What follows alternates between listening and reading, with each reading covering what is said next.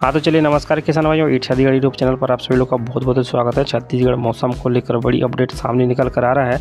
मौसम विभाग की भारी बारिश की चेतावनी सामने आई है। जी हाँ मौसम विज्ञान केंद्र लालपुर, रायपुर के मौसम वैज्ञानिक ने आगामी अड़तालीस घंटों के लिए प्रदेश के विभिन्न संभागों में वर्षा संबंधी चेतावनी जारी की है।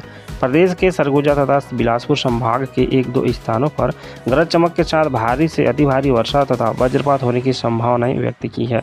इसी तरह से रायपुर और दुर्ग संभाग के एक दो स्थानों पर गरज चमक के साथ भारी वर्षा एवं वज्रपात होने की संभावना व्यक्त की गई है। छत्तीसगढ़ में भारी से अति भारी बारिश की संभावनाएँ हैं मौसम विभाग ने पाँच जिलों के लिए ऑरेंज अलर्ट जारी की है।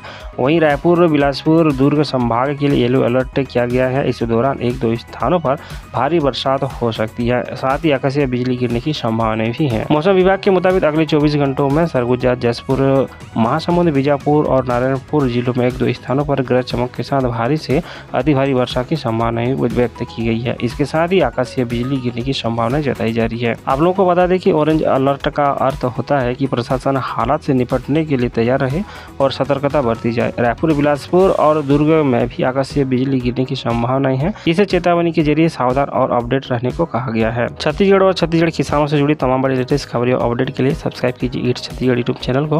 वीडियो के नीचे जो लाल रंग का बटन है, उस पर क्लिक करके